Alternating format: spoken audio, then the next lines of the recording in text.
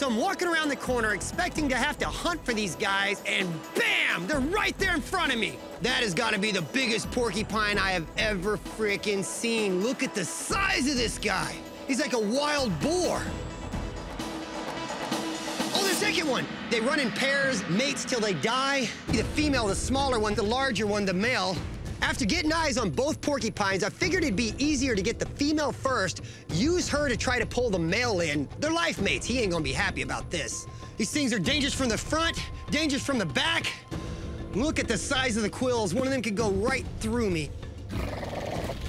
Right now, the female's starting a thumping pattern. She's got me on full alert, warning me. You get any closer, your butt's getting quilled. A lot of people think a porcupine can shoot its quills, but it can't. However, that doesn't mean they aren't a weapon. When a porcupine comes in contact with their enemy, the quills will release and embed in their skin. As you can see right now, she's uh, getting them quills all loose, ready for me to try to grab her so she can quill the crap out of me. But try to get her first and then go after the male.